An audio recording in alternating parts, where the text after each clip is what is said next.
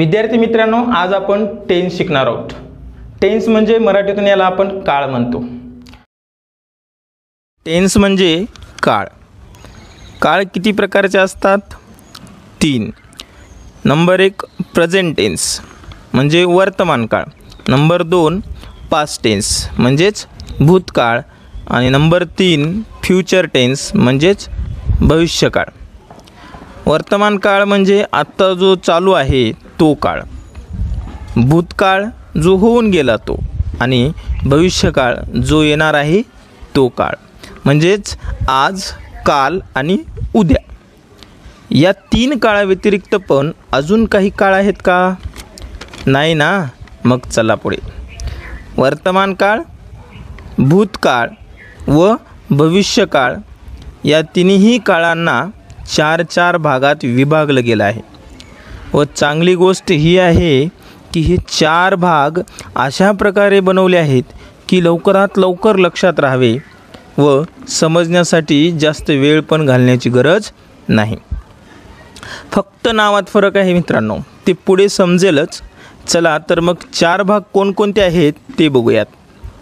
पहिला भाग आहे इनडेफिनेट म्हणजेच सिंपल टेन्स इनडेफिनेटला आपण मराठीत म्हणतो अनिश्चित. म्हणजेच कोणत्याही कामाची वेळ फिक्स न होणे. यामध्ये असे वाक्य येतात की ज्याचा वेळ निर्धारित नसतो.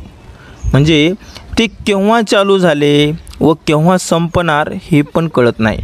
उदाहरण बघा मी क्रिकेट खेळतो. I play cricket. केव्हापासून खेळतो? किती वेळ खेळणार आहे हे समजत नाही. मी मराठी बोलतो. I speak Marathi. केव्हापासून बोलतो? किती वेळ बोलणार आहे? समजत नाही. म्हणजेच वेळ इथे डिफाईन नसते.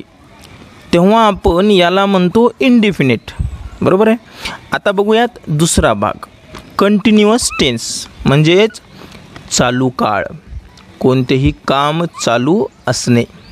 या भागात मित्रांनो आपल्याला काम केव्हा चालू झाले व केव्हा संपणार हे समजतच नाही. पण काम चालू आहे हे मात्र समजते. जसे की बघूयात मी क्रिकेट खेळत आहे. आय ॲम प्लेईंग क्रिकेट केव्हापासून खेळत आहे किती वेळ खेळणार आहे काही पण कळत नाही. पण माझी खेळण्याची क्रिया मात्र चालू आहे. याला म्हणतात कंटिन्युअस टेन्स आणि तिसरा भाग आहे परफेक्ट टेन्स म्हणजेच पूर्ण काळ. ज्यामध्ये काम पूर्ण झालेलं आहे असा बोध होतो. म्हणजेच कोणते तरी काम कंप्लीट झालेलं आहे. मी क्रिकेट खेळलेलं आहे लेली आहे लेलो आहे. हे शब्द काम पूर्ण झालेलं आहे हे सांगतात. या गोष्टी परफेक्ट टेन्समध्येच येतात. आता आपण तीन भाग बघितलेत. आता चौथा भाग पाहूयात. चौथा भाग आहे परफेक्ट कंटिन्युअस याला मित्रांनो थोडं ध्यान देऊन ऐका परफेक्ट म्हणजे आपण याच्या आधीच्या भागात काय समजून घेतलं? की एखादं काम कंप्लीट झालेलं आहे. आणि कंटिन्युअस म्हणजे त्याच्या अगोदरच्या. मध्ये एखादं काम चालू आहे हे समजून घेतलं. तर परफेक्ट कंटिन्युअसमध्ये काय येतं? एखादं काम पूर्ण झालं व चालू आहे. म्हणजेच एखादं काम एखाद्या विशिष्ट वेळेला चालू होऊन दररोज थोडं थोडं पूर्ण होऊन येणाऱ्या वेळेला पण चालू राहील. म्हणजे समजलं का? नाही ना? चला उदाहरण बघूयात नक्की समजेल. मी सकाळपासून क्रिकेट खेळत आलेलो आहे. म्हणजे क्रिकेट सकाळपासून खेळतो आहे खेळणं आता चालू आहे. पुढे पण खेळत राहणार. ही गोष्ट कळते आपल्याला? मी मागील पाच वर्षापासून मराठी बोलत आलेलो आहे. म्हणजेच पाच वर्षापासून बोलत आलेलो आहे. म्हणजे आता पण मराठी बोलत आहे. आणि पुढे पण बोलणार. अशा प्रकारे वाक्य या परफेक्ट कंटिन्युअसमध्ये येतात. तर विद्यार्थी मित्रांनो इथे आपण चार भाग समजून घेतले. एक वेळेस वापस रिपीट करूयात.